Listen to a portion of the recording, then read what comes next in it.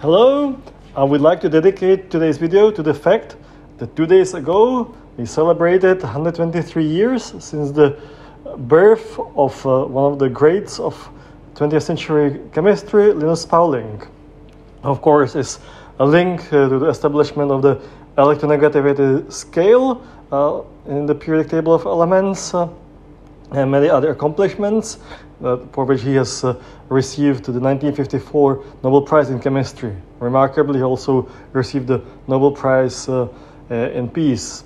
He's also remembered uh, on a bit more negative side for his uh, rather extreme advocacy for the use of vitamin C in his later years and other places where, unfortunately, his authority perhaps was hanging over the development of certain parts of chemistry, which is a reminder of the fact that uh, any authority shouldn't be followed uh, blindly in science and elsewhere.